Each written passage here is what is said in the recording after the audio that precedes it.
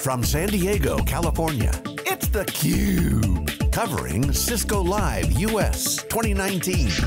Brought to you by Cisco and its ecosystem partners. Welcome back to San Diego, everybody. You're watching theCUBE, the leader in live tech coverage. This is day one of our coverage of Cisco Live 2019 from San Diego. I'm Dave Vellante with my co-host Stu Miniman. Lisa Martin is also here. Kip Compton is the Senior Vice President of Cisco's Cloud Platform and Solutions, and he's joined by Fabio Gori, who's the Senior Director of Cloud Solutions Marketing. Gentlemen, thanks so much for coming on theCUBE. Thanks, great to be here. Thank you for having us. You're very welcome, Fabio. So Kip, let's start with you. I want to start with the customer perspective.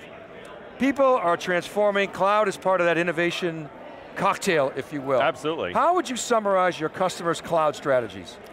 Well, I mean, in one word, I'd say multi-cloud and it's what we've been seeing for some time is um, customers are really expanding into the cloud, and they're really expanding into multiple clouds. And what's driving that is the need to take advantage of the innovation and the economics that are offered in the various clouds. And we like to say that they're expanding into the cloud because for the vast majority of, of our customers, they have data centers, they're going to continue to have data centers, and are things going to keep running in those data centers. Now, What's happening is they thought it would be easy to start with. Everyone, our CEO Chuck likes to talk about how everyone thought they just moved to the cloud, like moving to another neighborhood, everything would be great. Well, when there are multiple clouds and you're leaving some stuff on-prem, all of a sudden, what was supposed to be simple and easy becomes quite complex. Yeah, now I've often said, well, multi-cloud was kind of a symptom of multi-vendor, but what you're saying is essentially it's, it's becoming horses for courses. The, the, yep. the workload, matching the workload with the best cloud, to solve that problem? I think it's a feature, not a bug. So, I think it's here to stay. So how is that informing your strategy at Cisco?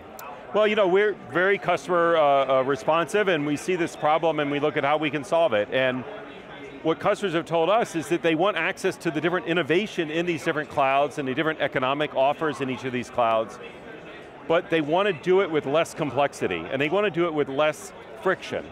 And there's a bunch of areas where they're not looking for innovation. They don't need things to work differently in networking. They want one way for networking to work across the multiple clouds and frankly to integrate with their on-prem as well. Likewise for security, a lot of customers are a little freaked out by the idea that there'd be different security regimes in every cloud that they use, and maybe even different than what they already have on-prem, so they want that to be connected and to work. Um, management and application lifecycle, they're worried about that. They're like, they don't want it to be different in every single cloud. Um, AppDynamics is a great example of an asset here.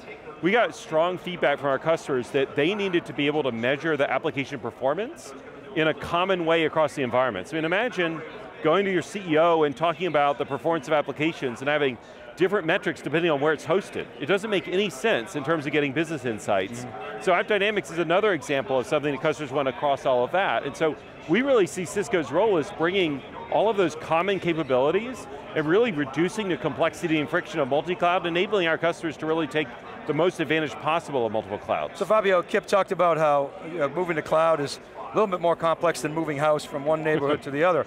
What are some of the key challenges that you guys are seeing and how specifically is Cisco helping to ameliorate some of those challenges? Well, there are some challenges that are squarely in the camp where we can help. Others are related, and probably they are the toughest in cloud, to fundamentally acquisition of talent, right?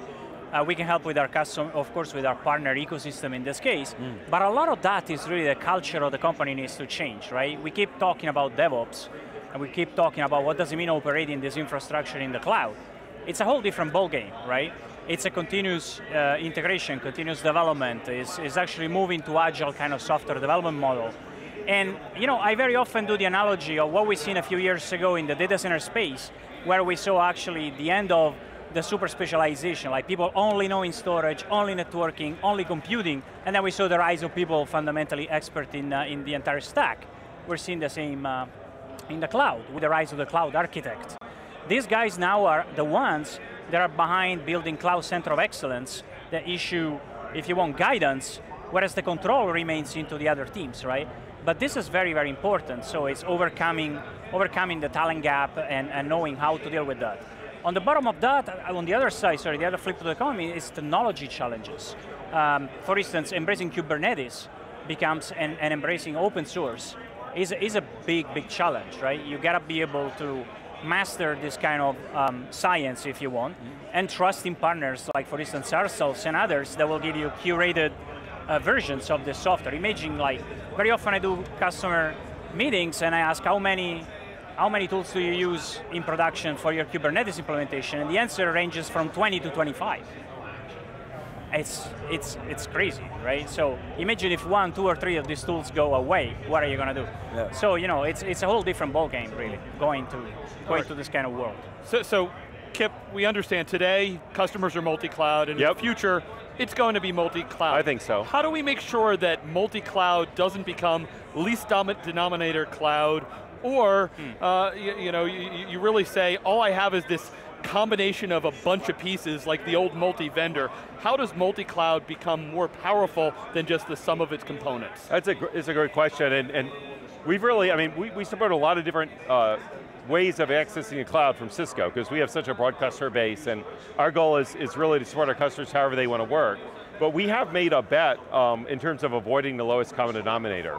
Um, and some people look at accessing multiple clouds as sort of laying down one software platform and writing their software to one set of APIs that they then somehow implement in every cloud. And I think that does tend to get you to the lowest common denominator because you know, if you want to be on the Alexa smart speaker, you have to be on the Lambda service at AWS.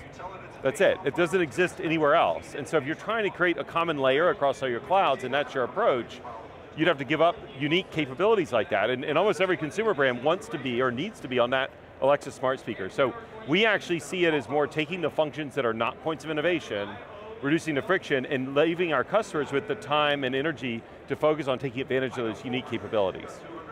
And Fabio, you're partnering at Cisco with a number of the providers out there. Where are we with the maturity of all this? We were at the KubeCon show and, you know, as you're right, there's a lot of different tools. Simple is not what we're discussing mostly at that show, so what have we solved today and what, what kind of things uh, does Cisco and its partners look to be solving kind of in the next yeah. six to 12 months? Oh, uh, partner, partnering with these big players is absolutely a company priority for us, for Cisco. And one thing that's important is, you said multi-vendor at the beginning, that was an interesting comment because if you think about it, multi-cloud is really a business need, right? You want to harness innovation wherever it comes from. But then, when you work with a specific provider and you reach critical mass, you want to have integrations with, this, with these different providers. And that is the hybrid world. So hybrid is more of a technology need to streamline things like networking or security or the way you use storage across the board, things of this nature. So that clearly is a, is a big need, and uh, we'll continue, of course, adding more and more from the standpoint of partnerships. Every, every one of the environments that our customers want to use is of interest for us, right? So, to extend our policies, to extend our reach. So just following up on that partnership, you guys are cloud agnostic. You don't own your own clouds. so right. you're not selling that. So you were at, at, at, Google Cloud Next, you were up on stage, David Goeckeler, uh, you got a relationship with Azure, you got a relationship with AWS, obviously. Yep. So Talk about the importance of, of partnerships and the specific strategy there um, in terms of your go-to-market. Well, you know, first of all, the partnerships are critical. I mean, as you said, um, we're not trying to move the workloads to our cloud, and by the way, a lot of our customers have said that's something that they value. They see us as one of the biggest, most capable uh, IT companies on the planet that still is somewhat agnostic and able to work with them on what's the right answer for their business, not trying to move everything to one place. Um, and those partnerships are critical, so you're going to see us continue to um, build on those partnerships. In fact, it's only day one here. Um, I wouldn't be surprised if you saw uh, some news this week on that. Yeah, we were wondering if uh, we were going to see somebody parachute in. That would be exciting. So, why Cisco? Uh, I'd ask each of you guys. And yep. Maybe, maybe Kip, you could, you could give us the answer from your perspective and then I'll ask you the same question. Well, I mean, from my perspective, it's based on what our customers tell us. And again, you know, the things that um, we're very good at, things like networking and security, are some of the biggest problems that our customers face in taking advantage of clouds, and are some of the things that they most want common across clouds. Um, and so we have a very natural role in this. I, I, actually think back to the founding of Cisco. I don't know if you know the story, but it was Sandy Lerner and Len Bosack at Stanford. They're networks couldn't talk to each other. You know, you have to remember back to the days of like DECnet and AppleTalk and all these things. It's hard to even recall because this new thing called TCP/IP obviously took over. That was the beginning of Cisco, is building the multi-protocol router that let those different islands talk to each other. In many ways, customers see us doing sort of the same thing or want us to do the same thing in a multi-cloud world. Well, just a, an aside before I ask you, Fabio. A lot of people think that you know the, the microprocessor revolution killed mini computers IP, Cisco kind of killed mini computers to your point. Yeah. But Fabio, anything you would add to the sort of why Cisco Yeah, I would story? say if you want my three seconds elevator pitch is we make multi-cloud easier and more secure. Multi-cloud is complex, so we definitely make it easier uh, through our software. And we have three big buckets, if you want, that are really compelling for, for our customers. The first one is all of our software arsenal around AppDynamics, CloudCenter, Workload Optimization Manager, that helps customer in uh, building a unified application management kind of software suite across on-prem and any of the public clouds that we've been talking about. The second one is, as you said, we build on our DNA, which is, if you want, and you heard uh, Dave Goeckeler today, our multi-domain uh, kind of architecture, right? Which is incredibly relevant in this case. So our networking and security fabric really is important there. And the third is our ability, because we don't compete with any of the big players, to partner with them and solve problems for our customers. So these three buckets are really, really important. They deliver a high business value to our customers. Kip, I want to come back to something you were talking about as the custom, you said the customers don't want a different security regime for each cloud. Right. Um, so it's complicated because First of all, they're trying to struggle with their own security regime anyway. Right. right and that's transforming. Right. So what is the right, the right, uh, sorry, security regime in this you know, cloud era? How is it evolving? Well, I mean, what we're doing is we're bringing tools like uh, Tetration, which now runs on-prem and in the cloud, things like StealthWatch, which runs on-prem in the cloud, and simply bringing them security frameworks that are very effective. We're, I think, uh, a very capable, uh, well-known security vendor, um, but bringing them the capability to run the same capabilities in their uh, on-prem environments and their data centers, as well as in multiple public clouds. And that just eliminates the seams that hackers could maybe get into. It makes common policy possible so they can define policy around an application once and have that apply across multiple environments, which not only is easier for them, but it eliminates potential mistakes that they might make that might leave things open to a hacker. Um, so for us, it's that simple, bringing very effective common frameworks for security across all these environments. You, cer you certainly see the awareness of the security imperative moving beyond the SecOps team. Oh yeah. There's no question about that. It's now board level, lines of business are worried about for their digital transformation, losing data. But are organizations at the point where they're operationalizing uh, the security practices and the like, you know, to the extent that they should be? Well, I mean, I think when you say they should be, there's always room for improvement. Okay, But we're seeing enough. just about all of our customers, I mean, as you said, security is, is a C-level, if not a board level discussion in just about all of our customers. Um, it's routinely the top first or second concern on a survey when customers talk about Sure. what's concerning them with the cloud. Um, and so we're seeing them really uh, view you know, security as, as foundational uh, to what they're doing. I mean, it used to be this sort of failure equals fire mentality. You- Somebody cracks through, you're fired, and so nobody talked about it. Now I think people realize, look, bad guys are going to get through. It's how you respond to them, and how you think about how you're using analytics. But Yeah. So Well, we're moving, uh, sorry, just Yeah. a quick Yeah, comment. please, we're moving quickly comment. towards a, well, more or less quickly to a zero trust kind of world, right? Yeah, if right. you look at uh, the action of Cisco in this area, for instance, the acquisition of Duo is performing exceptionally well. And if you want, at the top of the security ecosystem in a multi-cloud world, you find identity. Because if you don't know who the user or, or, or the thing is that's trying to use a certain application, you're in trouble. Because perimeter security, of course, is important, but you know that you're going to be penetrated, right? So it boils down to understanding who's doing what and remediating as soon as possible. So Well- it's a whole different paradigm. I mean, security is a huge tailwind for Cisco. It's a, the business is growing 21% a year. It's three, three, more than three times the growth of the company overall, which is actually still pretty good at, at five or 6%. So Hmm. security, rocket ship. Yeah, Fabio, just uh, I, I noticed before we did the interview here that everybody's wearing the t-shirts. The cloud takeover is happening here at the DevNet zone. So give those of us that you know aren't among the 28,000 you know here at the show a little bit of what's happening uh, from, from your Yeah, I'm going to do something unusual. I'm going to I'm Suite gonna and turn that like. question to Kip Oh, because okay. he was actually on stage two I seconds just- ago. I had the So opportunity think- to just kick that off. And that, you know, I think it links back to what Fabio was talking about with talent. I mean, obviously the, the most important thing we bring our customers is the technology. We are a technology company, but so many of our customers are asking us to help them with this talent gap. And I think the growth of DevNet, I mean, we're actually sitting here in the DevNet zone. It's got its own area here at Cisco Live. It's gotten bigger every single year um, here at Cisco Live. Um, the growth of DevNet is, is a sign of how important this talent issue is, as well as the new uh, certifications that we announced. We expanded our certification program Yep. to include software in conjunction with DevNet, so now people will be able to get professional certifications from Cisco, not just on networking, but on software uh, capabilities and skills. And this is something both our partners and our customers have told us they're really looking for. Now, in terms of the takeover, it's something fun that the DevNet crew does. I think they're doing five of them during this week. I was really excited. Susie, Wee asked us to be the first, uh, so we had the opportunity to kick it off. Um, it does include beer, so that's one of the nice things. It includes t-shirts, both things that I, I think are uh, uh, prevalent in the developer community, I'll say. Um, and we just have an hour where the focus is on cloud technology. So we got everyone in cloud t-shirts, a bunch of the experts from my product engineering teams are on hand. We had some special presentations. Uh, we're just spending an hour focused on cloud. Well, and I love that you're doing that in the DevNet zone. We've always been super impressed with this whole notion of infrastructure as code. I think I've said many times, of all the traditional enterprise companies, you know, computer companies, if you will, IT companies.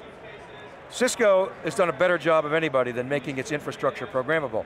We talked about security before, it's critical, right? If, if, if you're still tossing stuff over to the operations team, you're going to be, have exposures, whereas you guys are in a position now, and you talk talent, you're transitioning you know, the role of the CCIE mm -hmm and now is becoming you know, essentially a developer of infrastructure as code. I mean, it's a very powerful uh, Absolutely. Uh, concept. I think we're helping our partners and our customers transform just as we're transforming.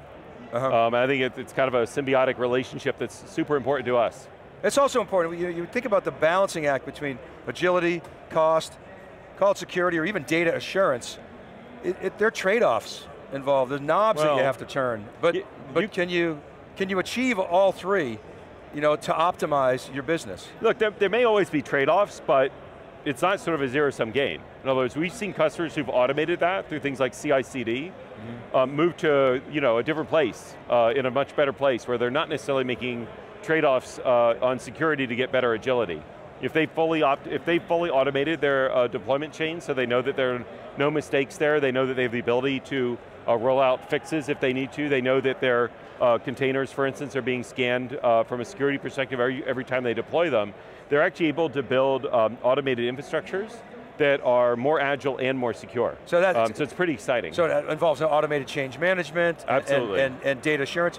Talking about containers, that's interesting. Spinning up containers, you want to spin them down frequently, so the bad guys, it makes it harder for them to get through. You, Talk you about VM sprawling, right? yeah, right, That's right. one of the, yeah, the, the, container sprawling, right. The biggest issues out there. And by the way, uh, you know, as you automate uh, this infrastructure, rightly so you mentioned infrastructure as code, then you can do the, the other magic, which is introducing machine learning, artificial intelligence, and today, Dave Goeckeler and Sachin Gupta gave, um, and Scott Harrell, they gave a terrific demonstration of you know, finding root cause analysis for very, very complex kind of problems that will take forever in the old-fashioned world. Now all of a sudden, you have the management system, in this case DNA Center, that tells you actually what the problem is. And if you validate it, you click a button, and instantaneously you deploy you know, new policies and configuration. I mean, that's a dream come true, literally. You may say probably we are the last you know, ones to the party in terms of infrastructure players, the industry I mean. But we're getting there very quickly, and this is a whole new set of possibilities now we talk on theCUBE a lot, and I think it's really relevant for what I'm hearing about your strategies, is cloud is about bringing the cloud operating model to your data, wherever your data lives. And you, that seems to be, kind of underscore your, your strategy. Absolutely. And so edge, cloud, on-prem, hybrid, you guys, your strategy is really to enable customers to bring that operating model wherever they need to. Absolutely. Right. Yep. Awesome. Data transparency is a big deal. I mean, application anywhere, eating data anywhere, that's the world where we're going to. Guys, thoughts, final thoughts on uh, Cisco Live this year. I know it's only day one.